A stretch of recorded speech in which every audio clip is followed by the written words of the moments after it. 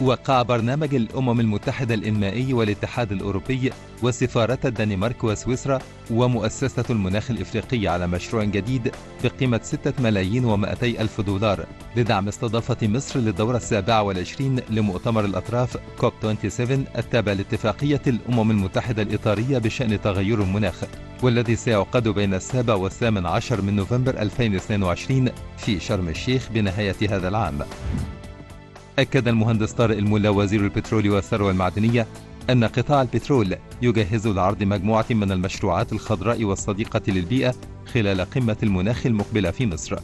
واستعرض الوزير خلال رئاسته اجتماع الجمعية العامة للشركة المصرية القابضة للبتروكيماويات مجموعة من المشروعات الجديدة التي تمثل فرصا جاذبة للاستثمارات المحلية والعالمية.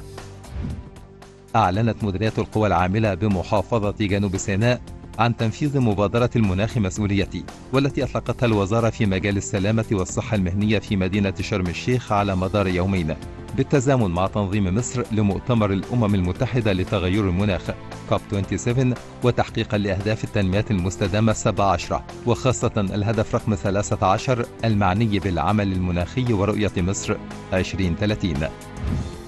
أبرمت وزارة البيئة عددا من بروتوكولات التعاون مع اتحاد الصناعات المصرية ومركز تحديث الصناعة ومكتب الالتزام البيئي بهدف تقديم الدعم الفني والمالي للصناعات الصغيرة والمتوسطة وتحفيزها على التحول لآليات الإنتاج والاستهلاك المستدام وتشجيع الصناعات الخضراء.